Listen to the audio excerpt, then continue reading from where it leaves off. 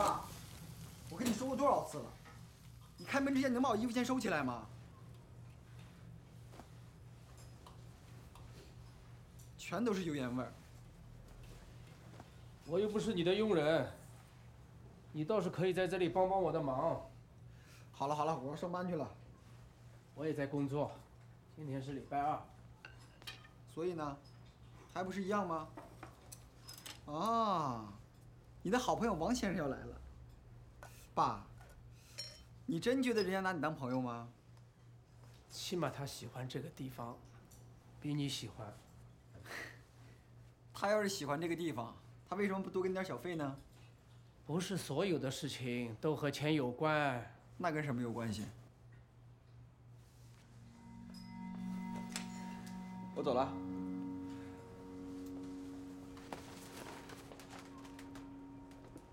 王先生，您来了。你好，你好，你好。哎呦，不要这样。您坐一会儿。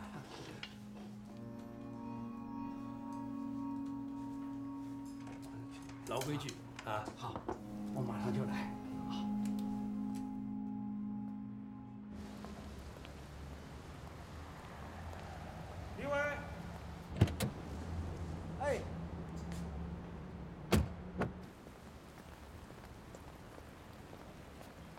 的客人非富即贵，小费多的是，等会儿活络一点，别发呆啊。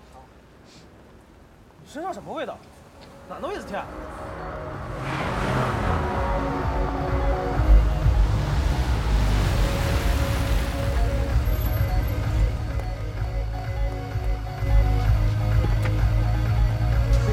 站好，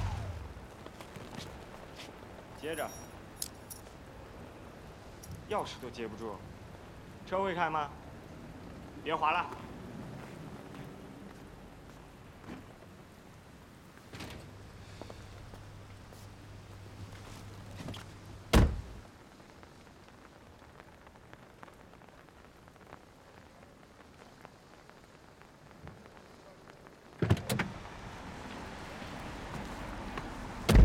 开车，不好意思，快开车！怎么了？怕你爸骂你？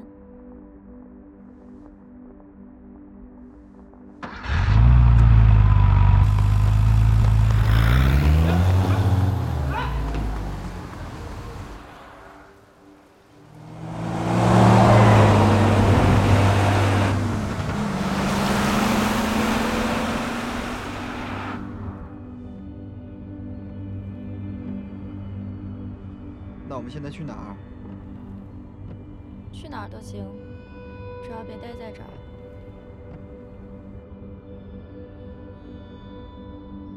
只要别去太平桥公园。太平桥公园怎么了？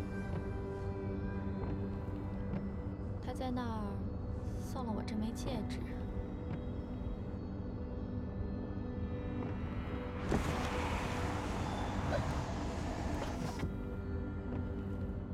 然后他把我甩了。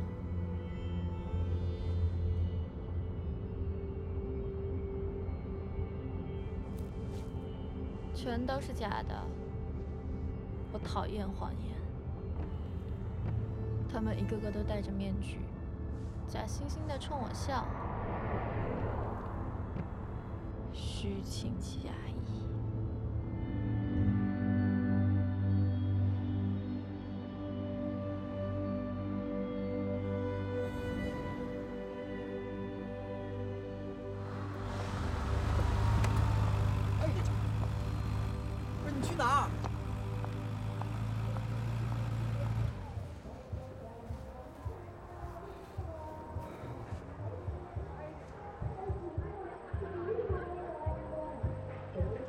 有时候，我真希望我的生活就像这样，为什么？简单、真诚、明了。但这是一场安排好的婚礼。为什么这么说？你看新郎的妈妈，她的鞋子太大了，肯定不是她自己的，估计是从邻居那里借的。你再看新郎的爸爸，他高兴的有点过头了，套装的标签都露出来了，衣服可能是租的。你再看新娘的爸爸，他一直在喝酒，想把自己灌醉，估计他想忘了他女儿这场糟糕的婚礼。还有新郎的劳力士，也是假的。谁会在乎这些？你看这对新人，他们现在看起来很开心，这样就够了。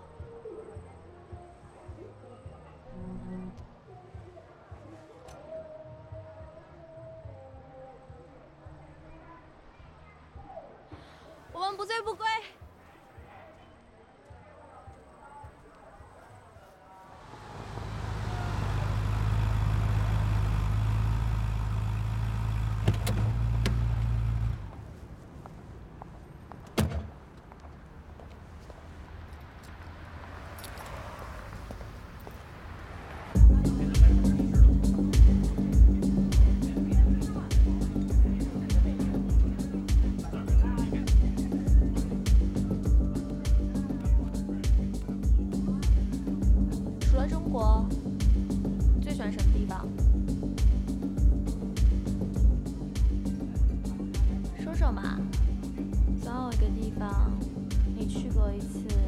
还想再去一次。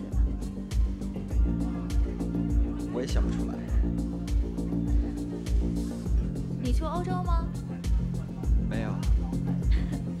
那你跟我想象的完全不一样，服务很差，不过它还是很迷人。那些建筑，你真应该去一次。还需要点什么？没带。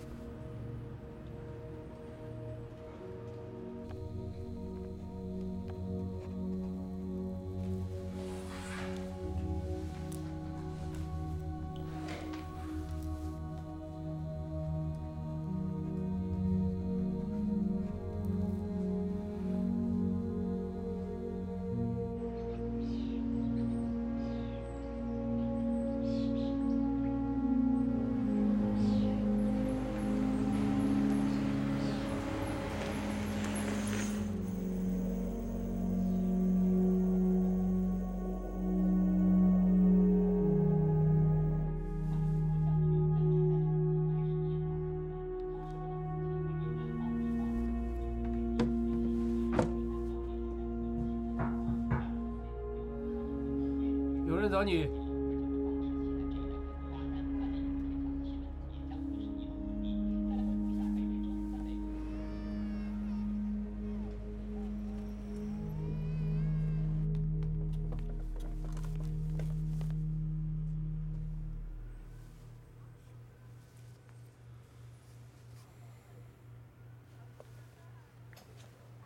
你昨晚遇见了我雇主的女儿，梅。她是个很脆弱的孩子。昨天放假，本来他打算出来和他的未婚夫一起共进晚餐，但是他没有按照计划顺利进行。他在你的帮助下逃走了。昨晚和你分开以后，他又消失了。我也不知道他在哪。梅的父亲是一个很富有的人，如果有人可以顺利的带他的女儿回来，我相信他会很慷慨的。如果你有他的任何消息，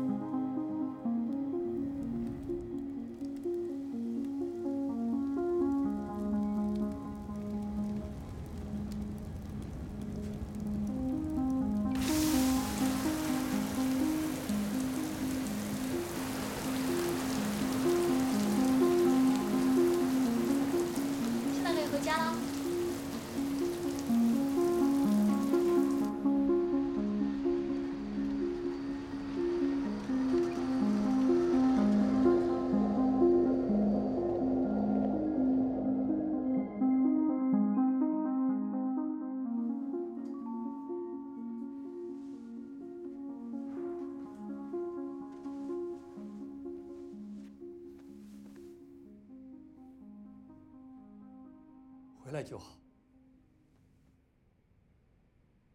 过来，进来。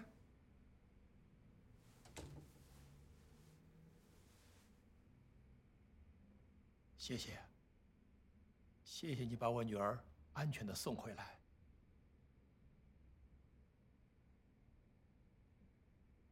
我们是不是见过面？应该没有。